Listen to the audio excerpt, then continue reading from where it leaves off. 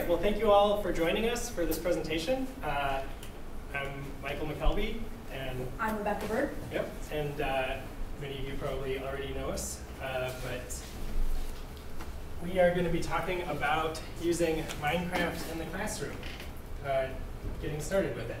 Um, I guess here's I jumped ahead. So uh, we are actually giving a presentation that we're going to be giving in a couple of weeks at an ICTM, Illinois Council of Teachers of Mathematics talk. And so uh, you may notice it's sort of geared toward teachers and possibly math teachers specifically.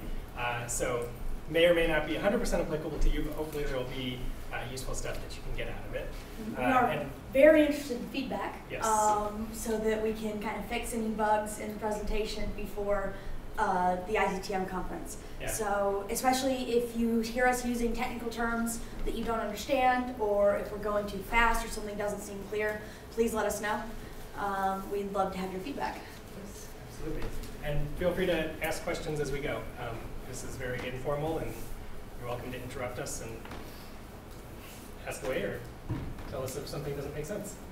Uh, so, okay, so introducing Minecraft.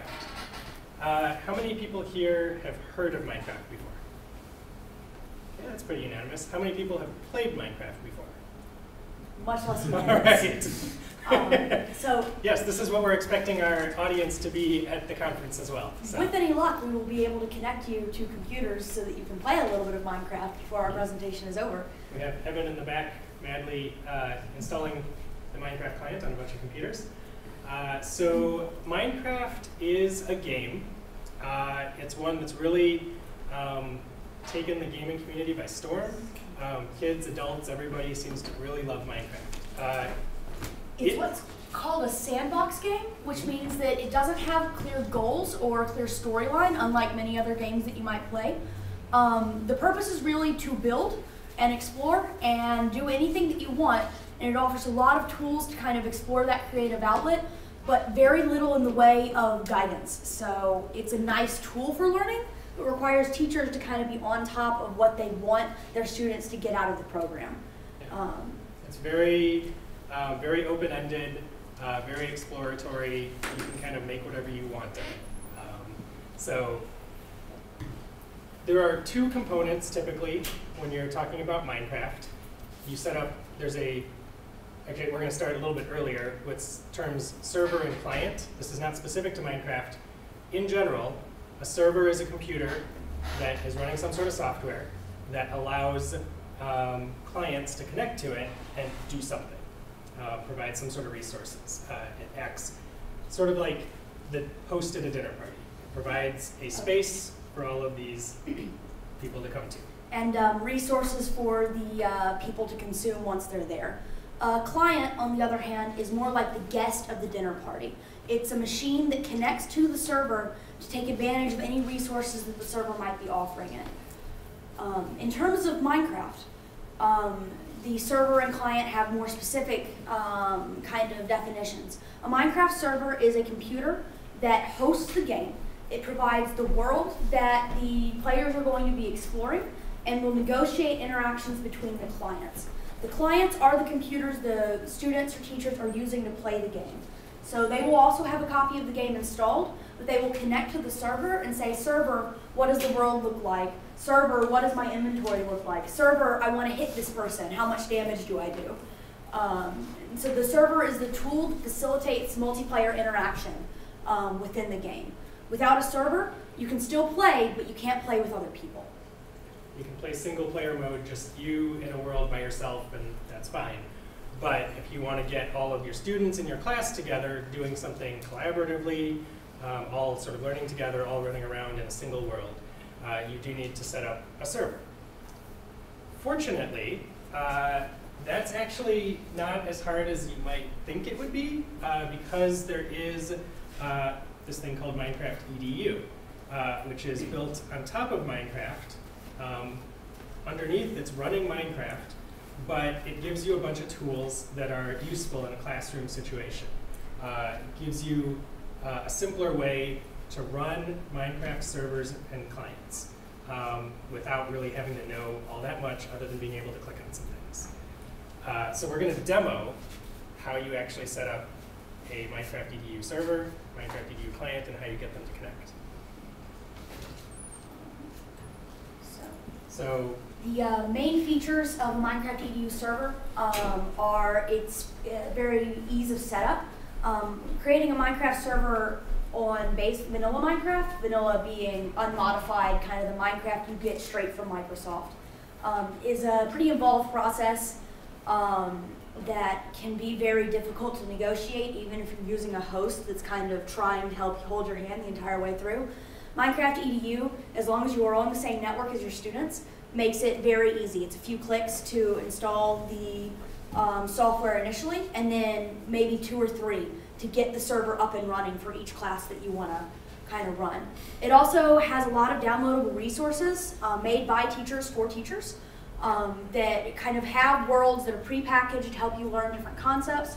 Often these worlds will come with lesson plans already attached to them or handouts to give to your students. The client, the thing you use to play the game, also has a lot of nice features. Um, most importantly, that it is cheaper than buying a Minecraft account for every one of your students. Um, but it also has some controls that kind of help you manage the students in the classroom. If they aren't really paying attention to you, you can freeze them and say, hey, eyes on me, you're not playing the game until we, I tell you kind of what we're doing. Um, and some other tools that we'll kind of demonstrate for you that make playing the game a lot easier with your kids. yeah, a lot of ways to manage your students and keep them from hopefully getting too far off task.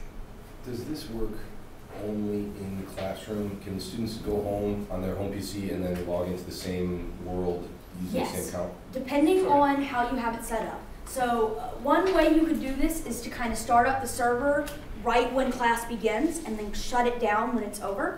But if you want to, you can also just have a machine that all it's doing is running Minecraft.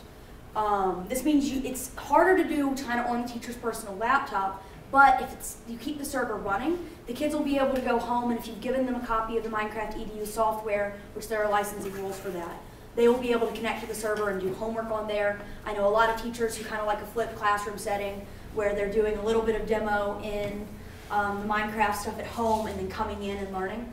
Um, it's very possible, and they have kind of legal allowances for that as well. Yeah. Uh, one thing to be aware of is you probably have to work with network administrators at the school to make sure that, because you can run into networking issues just uh, in terms of the technology, that it's possible that um, the school's firewall would block things from, you know, block traffic going across. So it's possible that with some work from some tech people at a school, you could get, you know, the server that you're running on your, um, you know, classroom PC uh, actually reachable by the students at home. So it, it, there may be some technical challenges, uh, but it is at least theoretically possible. It is possible, we have done it. Um, it is a thing you can do, um, but But may require, it, it's more than just the, you know, one-click setup sort of thing, potentially.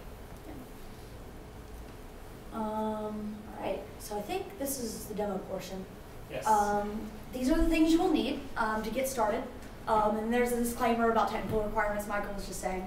Um, one of the most important things, a two-button mouse is not technically required, but makes it infinitely easier to play the game. And I highly recommend having one um, because it cuts down on a lot of frustration. And a lot of kids who already play Minecraft will be used to having one of these.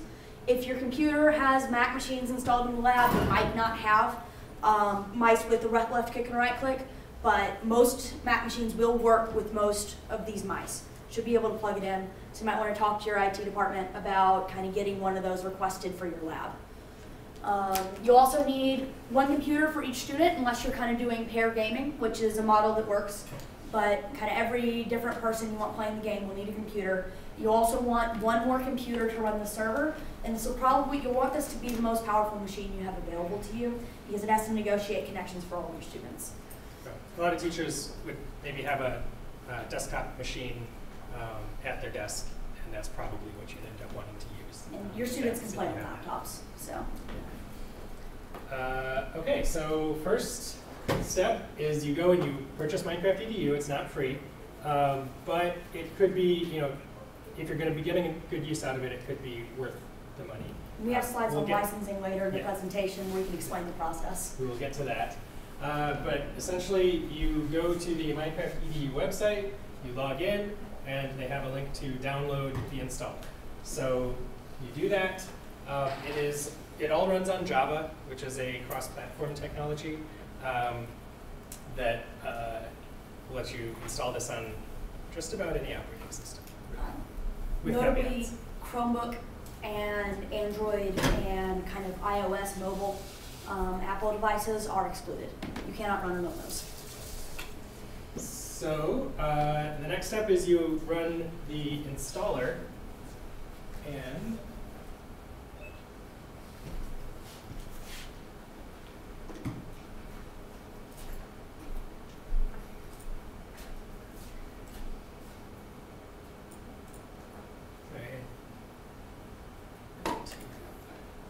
Sorry. Quit out some things we already had open.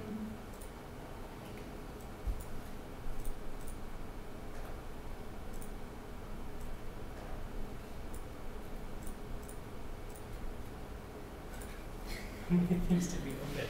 Please uh, pardon our mess.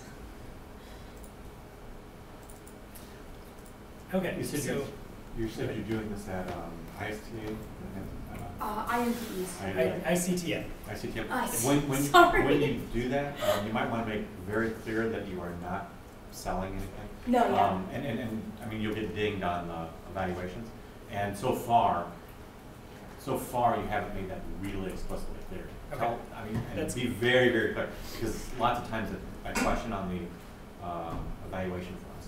Yeah, Yeah. feels like, That's- feels like we're that's- giving a pitch for. Right, Exactly. right. So We're, make it know, very clear at the very beginning, you're That's- trying to. Very helpful, thank you. Yeah. We will, we will start off with that. We are not associated It doesn't hurt anyway. to, it doesn't hurt to reiterate again and Yeah, again. yeah. A lot of disclaimers. Purely now. providing information. Um, okay, so you will end up with uh, an installer. We've renamed this one, but this is just something downloaded from their website. Uh, and you double click it, and you get sort of a standard installation window. Click continue. There's some information about Minecraft EDU that you can read, but at the moment, we're just gonna skip past it. We're just going to accept the terms of the license agreement. You know, you probably wanna actually read that if you're installing it on your own computer. And then we get to uh, choosing which things we're actually going to install. So uh, for the server, you're gonna want to, the one thing you wanna remember is to actually check this uh, Minecraft EDU server launcher, because that's kind of the whole point of this installation. You can also choose to install it somewhere, wherever you really want to, uh, but we're just gonna go ahead and do it in the default location um, for, for this Mac. And we're doing this on a Mac right now, but it could just as easily be done on a PC. In a Or a Linux we'll- machine with a graphical interface, like Right. Ubuntu is a common distribution. Yeah. So in, in a minute, we'll show installing the client on a PC and show you it works really whatever system you're using. Uh, so the installation just finished. Continue. Uh, so I'm going to go ahead and close the installer and open the launcher. And so this is what that looks like.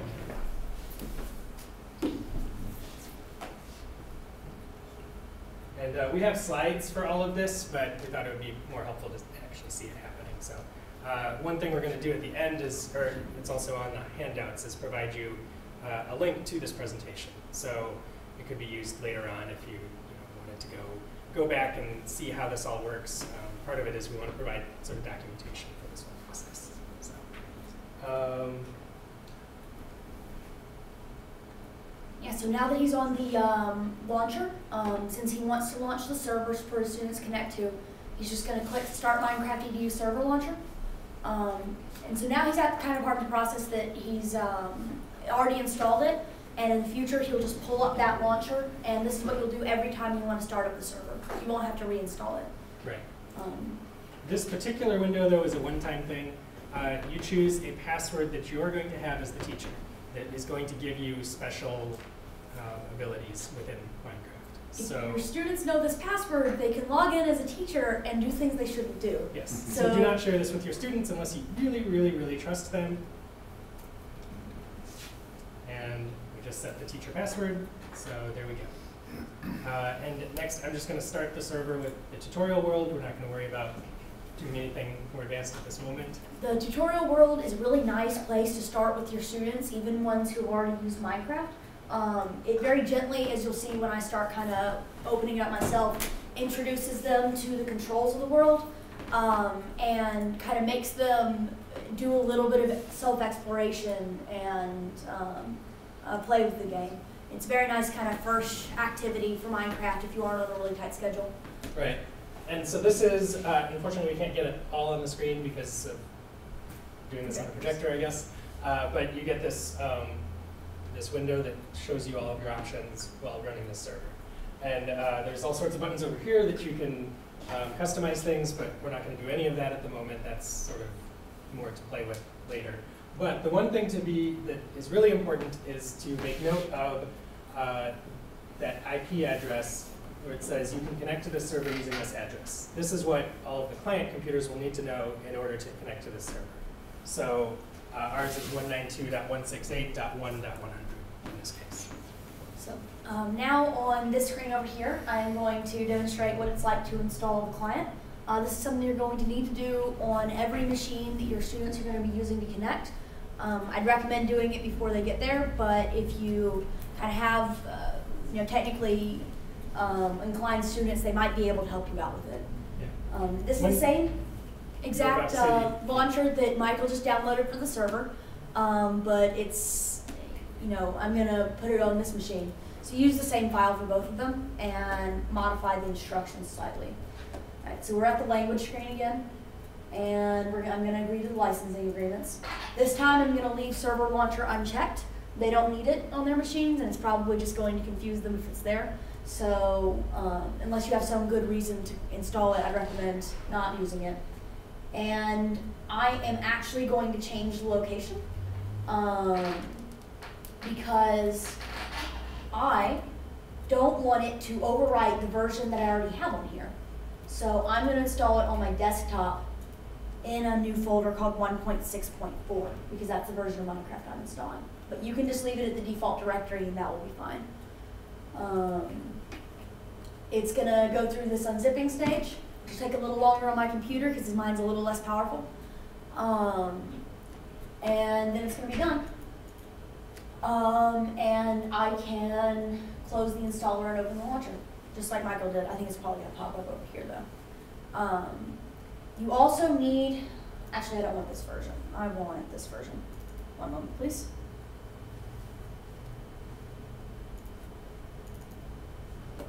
All right, I'm opening up the uh, launcher again. There's a short, it made a shortcut on my desktop, which again, you can't see because of the way the projector's working.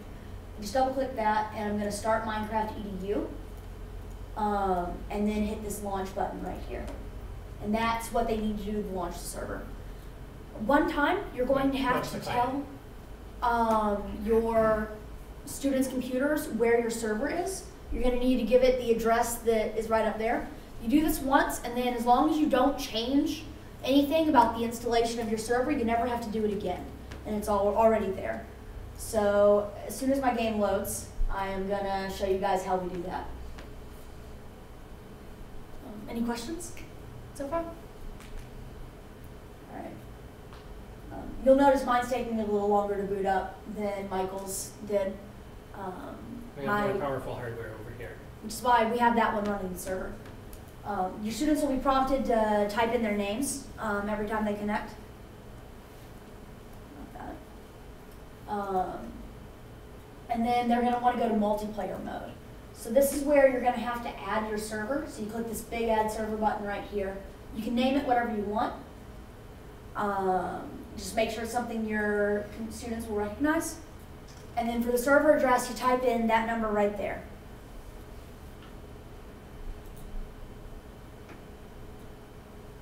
And that's it. It's gonna ping for a while and then it's gonna decide that I can connect.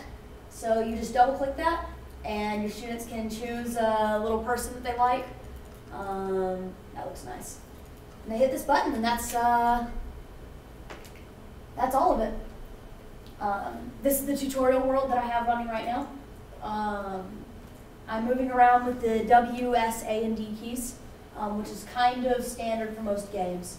And you can see these signs are kind of explaining what, how to, how to do things, that I need to move the mouse to look around. There's giant arrows telling me where to go. Um, If I can interrupt really quickly, I just plugged in another laptop over here on which I had already installed the client, just like what Rebecca demonstrated. And so now you can see that um, I am able to view the world. I can see that there is one out of potentially 100 people already in the world. I see Rebecca's name, and I am going to also join the server. And I'm going to join as a student. Actually, no, I'm going to join as a teacher. So now it's asking me for the teacher password, and I will just type in what I typed in a moment ago, and then I will connect. And I am now also in this world, and there's Rebecca. there's Michael. So uh, right now, this computer right here is acting as the server, and this computer and that computer are both clients. They're all communicating with each other, or at least each of these computers is communicating with this one uh, in order to join this world. Um, you can see that, so most of you guys haven't played Minecraft before, so this may not um, make a whole lot of sense. Uh, stop me if I'm uh, not. Um, since I'm a student, I can't break things. Um, you can see I'm trying to break it, but it won't, and it's telling me that I'm not I'm not allowed. Essentially, um, I can't hit Michael. Um, that's not that's not allowed. I can't fly, which you guys probably didn't know that that was an option anyway, but that's something I can't do.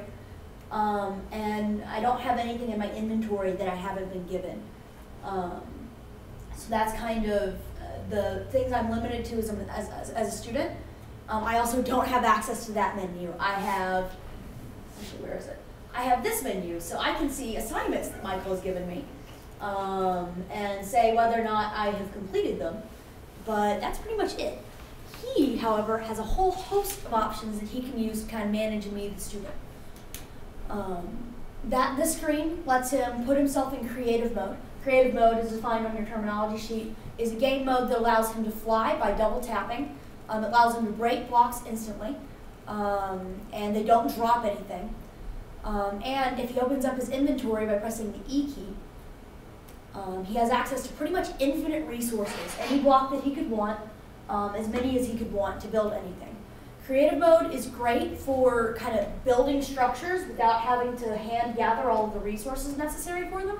If you don't want your students, um, if you are okay with your students having access to any block, um, including some kind of dangerous ones like lava, and you want them to kind of be able to freely build without any middle steps in between, creative mode is great and you can give them access to this mode. But Michael can also get it on his own without giving it to me because he's a teacher. Um, he has some other tools that are useful um, on that same menu he was showing you earlier.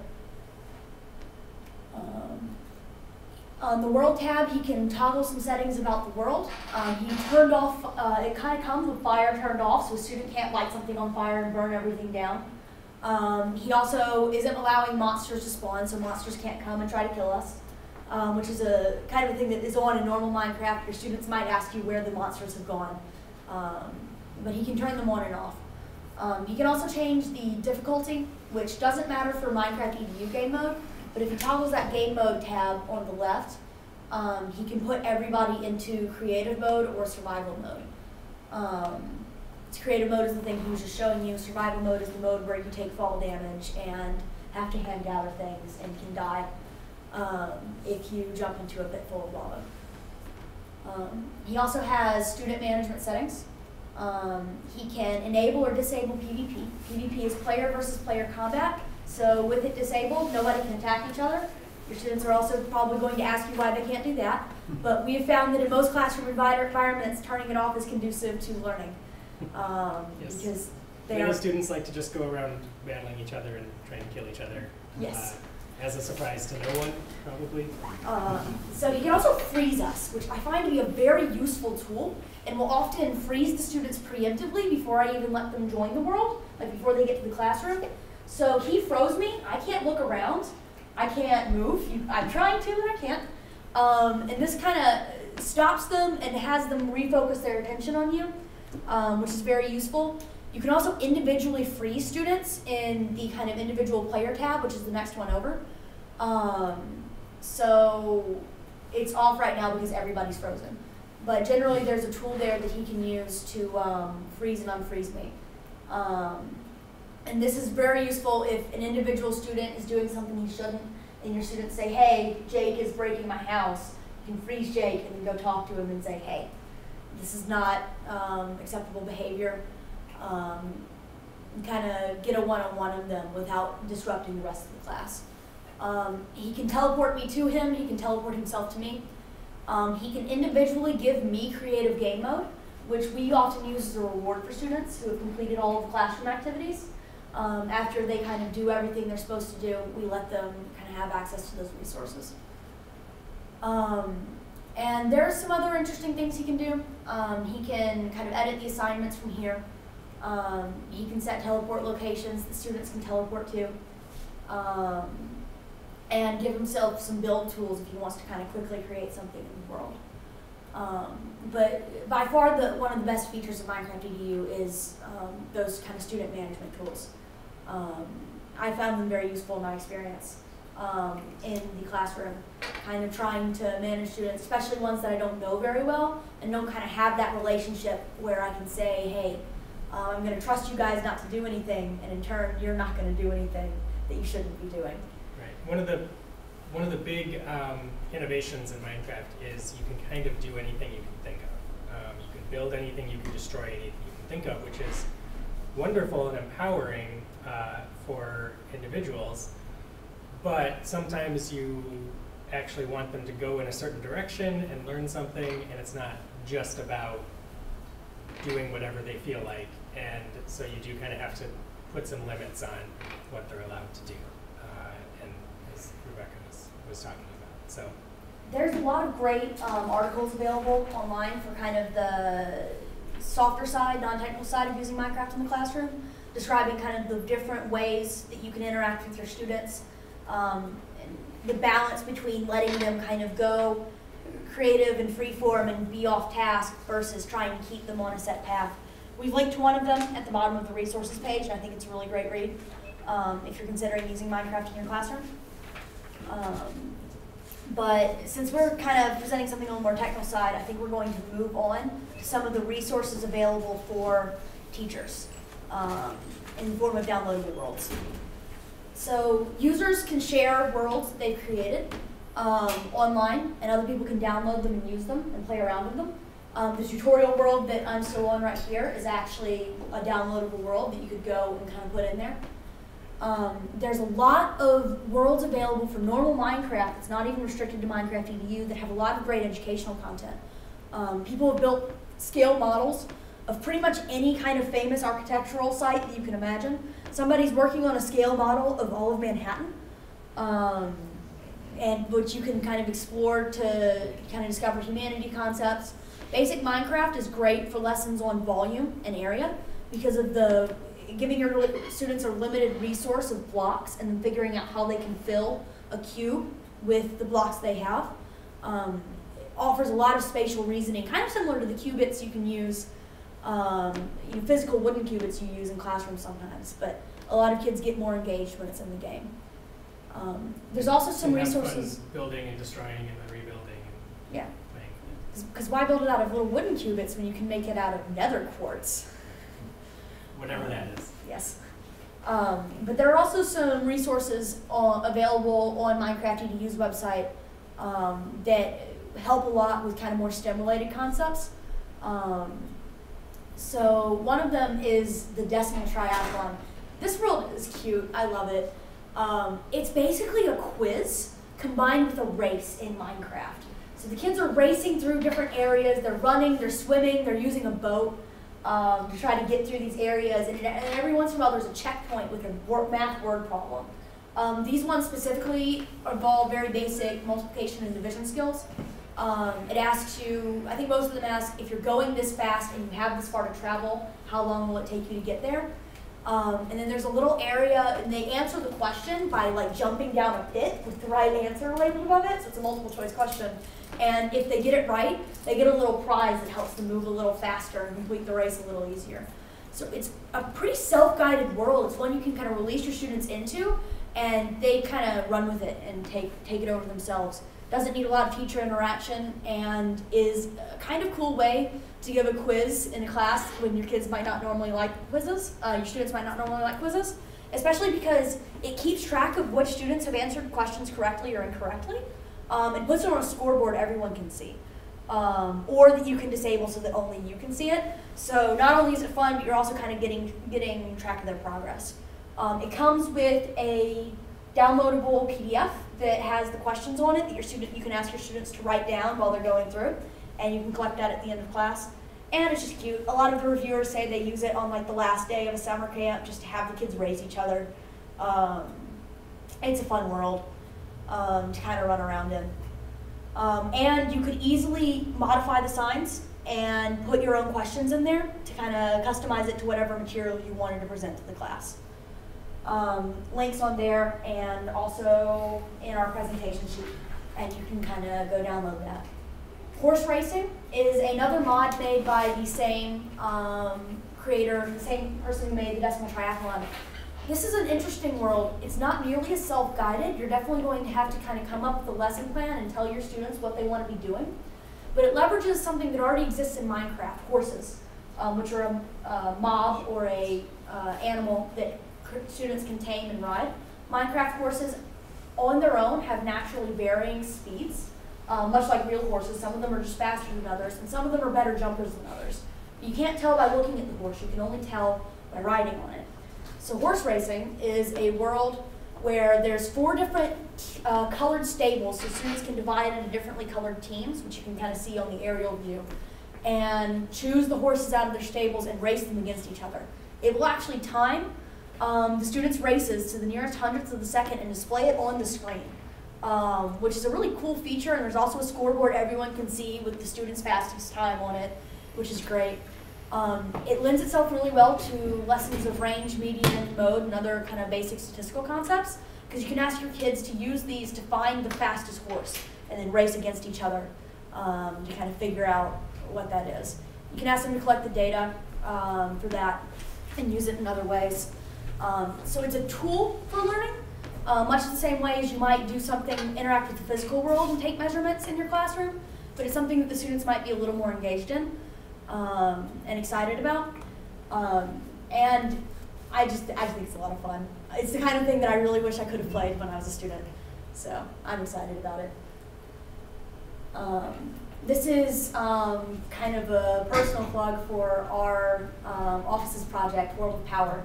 Um, it's a world that's available for free online. It uses some mods that add um, electricity generation and um, kind of wind turbines, solar panels, a lot of sources of both clean and not clean energy that you can use to power machines that do useful Minecraft things, like mine a pit for you. Um, you could, and you have to power it, and you have to power it safely. Um, this is uh, funded by a grant to explore both clean energy and security for the power grid. Um, there's this little area where students can create their own houses, and then they can kind of connect it to the grid and connect lights to it, and kind of explore the different ways that electricity is generated or take their house off the grid by connecting solar panels and wind turbines to it. Um, it comes with a lot of lesson plans um, that you can download in PDF form that you can give to your students. I've used this extensively in an after-school program at Urbana Middle School. Um, and we get, you know, playing an hour, an hour and a half a week. We get about six weeks of material off out of it with the lesson plans that are already existing. Um, and it can be kind of a useful world to introduce these concepts to them. Um, all of the resources from it are available for free at the uh, website that we've uh, linked below. And we are still working on developing kind of new content for it and new worlds along the same vein. Um, those are all the downloadable worlds we have demonstrated. There's a lot more available online um, for math, for history, for a lot of different educational concepts. And so even if a lot of them will work without Minecraft EDU, so I'd recommend going in to check even if you don't end up using Minecraft EDU in your classroom, because they're really amazing resources. Um, most of them developed by teachers and already used and tested in their classrooms. Um, we're not connected to the internet. No, we are. I just don't seem to have uh, kept it in correctly. And uh, clearly, we have a display problem going on, switching between uh, sources here. Uh, okay. Yeah, Michael's pulled up the uh, World Library for Minecraft EDU. Um, so this is kind of newest first, sorted. You see somebody's made a model of Alberta, Canada that you can explore. Um, they just made that in Minecraft um, with the terrain features. Um, and some other stuff that people have used. If he heads, heads to search options on the right um, and source by ascending, he'll get kind of the most popular worlds. Um, these are some kind of interesting ways. A lot of the most popular ones are the ones that come with lesson plans and handouts, um, and are kind of the most full featured. But there's new stuff getting added all the time, so um, a lot of times there's at least something you can start off of, and then maybe build up to kind of match your classroom material. So here's all the ones that have been tagged with map, and you can see the list just keeps going and going and going. So potentially a good resource. Download the world um, and, and try it out. See see if it looks like it would work in your classroom. Okay, so we want to uh, reiterate uh, that we are not making any money from this, and we are not trying to sell you something. We are not involved with the makers of Minecraft EDU. We get no Uh, royalties um, or any other kickbacks. Yes. but it's uh, Minecraft EDU is one of the cheapest ways to kind of deliver Minecraft to your classroom, and it's the one that we have the most experience with using. Um, so we're going to kind of describe its licensing process. Um, for Minecraft EDU, you'll have to buy purchase licenses for each server that you want to run and one for each simultaneous user. What that means is if you have a computer lab and you want your kids to use Minecraft EDU in the computer lab, you'll use buy one Minecraft EDU server license, um, and that will give you kind of permission to run the server that Michael has over there. And then you'll buy one client license for each computer in your lab. You don't have to buy one for each student, and you get to use these forever. Um, so if you have turnover, you know, kind of no matter how many um, different periods you have using Minecraft, as long as you only have so many users using it at once, um, you only have to buy that many licenses, which is different from um, the model we're going to kind of show you later. There's, few, there's about three different options for licensing Minecraft. Um, this is the only one where you buy licenses once and you don't have to again. Yeah, these are perpetual licenses. So you don't have to renew them every year. No, Nope. um, they, they work use it. forever.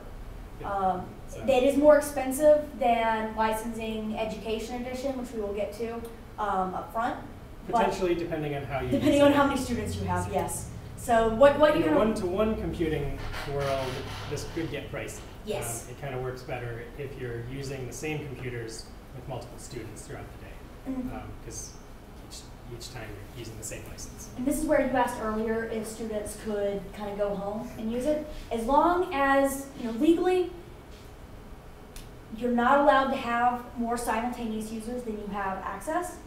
The installers, as you probably noticed, don't ask you for your license keys. So it's kind of an honor code system to say you're not doing it. So you can send, send the installers home with your kids and have them install it on their home machines or have them install it on the laptop at school and bring the laptop home. And they can play it from home if the server's still up or play it in single player mode and kind of do their homework there or explore the world a little more, bit more there. Um, and that's something that they can do. But legally, you should make sure that you will never have more simultaneous users than what you've bought licenses for. Um, it's a Minecraft EDU is available only to public and private schools, including colleges, universities, and K through 12 edu- educators, libraries, museums, or registered charities and nonprofits using the software in structured educational programs, which is an exact quote from the website. Interpret that as you will. Um, if you are not one of these organizations and still want to use um, Minecraft, you can't use Minecraft EDU, so you're going to want to have to look at another Minecraft licensing option to kind of use it in a group. Um, Minecraft licensing, so another option if you don't want to use Minecraft EDU is buy a copy of Minecraft for each student and just run a normal Minecraft server. You're not going to get the features of Minecraft EDU like student freezing, um, some of the other stuff we showed you earlier, but it is a way for everybody to connect and use Minecraft. And as I mentioned earlier, a lot of Minecraft EDU work resources will work for normal vanilla Minecraft if you do a little finagling.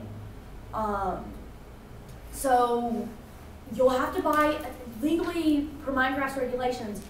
You can't buy one for every computer. You have to buy a copy of Minecraft for every individual student. Um, and the per student licenses are more expensive than the client licenses. Um, you may or may not have to also buy one copy for your server, depending on kind of what you're using to host. Um, And that's where you might want to look into um, uh, off-site external hosting, going with a hosting company somewhere, uh, if your school can you know, set that up. Because there are tons of services out there that will offer to host Minecraft servers for you that your students or friends or whatever can yes. do. That might be a good option if you're just doing regular Minecraft. Yeah.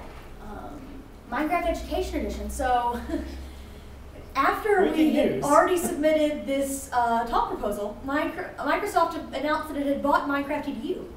Um, they so bought Minecraft a couple years ago, but Minecraft EDU was sort of continuing on as its own thing until like two weeks ago. yes, so information about this is still kind of being released. For the moment, you can still buy Minecraft EDU licenses, but at some point in the coming year, that's going to stop, and they're not going to sell those anymore.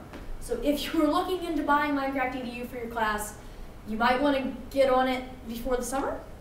Um, Minecraft Education Edition, there isn't a lot of information released about it yet, including a release date. Um, but it's sometime this summer, hopefully. And theoretically, the licenses will be $5 per student per year. So you have to pay $5 each for each student, not for each computer, and you have to renew that annually. Um, this will give their students their own kind of login and password that they will use to access things. You're also going to have to buy licenses for each teacher who's using the software. Um, that is their aim. We won't really know until they release it what licensing is going to cost. Um, also, very importantly, Minecraft Education Edition probably won't support mods, which are additional content for Minecraft kind of developed by users to enhance gameplay functionality. Um, every world we have showed you so far, except for the tutorial world, uses at least one mod. Um, they add things like journals for the students, um, electricity. Um, most kind of worlds that kind of emulate physics concepts will use a mod. So a lot of content, content won't be available to you using Minecraft Education Edition unless Microsoft decides to support mods, which looks unlikely. Um, right now they say they have no plans for it. And So it being Microsoft, they don't historically tend to like to integrate well with others. They tend to like to control things a bit. I mean, to make their thing and, and going to use it. So we don't have a lot of confidence that they're going to make it an open system. Which doesn't mean the Minecraft Education Edition isn't um, a useful tool for the classroom, but it's a consideration you're going to want to take into account um, when you're talking with your school about kind of how you're going to license the product once you've decided to use it in your classroom. Um, so this is the technical slide um, with the system requirements. We can skip this for the moment. Gives you information about kind of how powerful of a computer you need But if to you run. if you're starting to get set up, referring to this or giving it to your school's IT um, is kind of useful jumping off point to figure out if you have the hardware necessary to play the game. Um, and here's some additional notes.